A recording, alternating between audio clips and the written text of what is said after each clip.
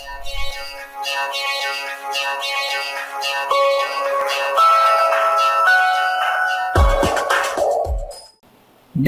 যে কারণে যাত্রীর বোমার হুমকিতে মালয়েশিয়ায় বিমানের জরুরি অবতরণ মালয়েশিয়া এয়ারলাইন্সের একটি বিমানে যাত্রীর বোমা হামলার হুমকিতে জরুরিভাবে বিমানটি যাত্রা স্থলে অবতরণ করে বুধবার বিমানটি অস্ট্রেলিয়ার মেলবোর্ন থেকে মালয়েশিয়ার কুয়ালালামপুরের উদ্দেশ্যে যাত্রার চোদ্দ মিনিটের মধ্যেই এক যাত্রী বোমা হামলার জন্য বিমানটির ককপিটে প্রবেশের চেষ্টা চালায় বলে জানিয়েছে কর্তৃপক্ষ সন্দেহভাজন ওই ব্যক্তি শ্রীলঙ্কার নাগরিক এবং সে মাতাল অবস্থায় ছিল মালয়েশিয়ার ভারপ্রাপ্ত পরিবহন মন্ত্রী বরাদ দিয়ে দেশটির সংবাদ মাধ্যম দ্য স্টার এ খবর জানিয়েছে flight MH one twenty eight নামের ওই বিমানটি যাত্রাস্থল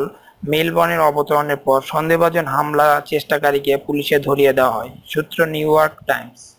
আমার এই চ্যানেলটাতে আপনারা যদি আরও লেটেস্ট নিউজ পেতে চান তাহলে অবশ্যই সাবস্ক্রাইবের মাধ্যমে আমার সঙ্গে থাকুন ধন্যবাদ সবাই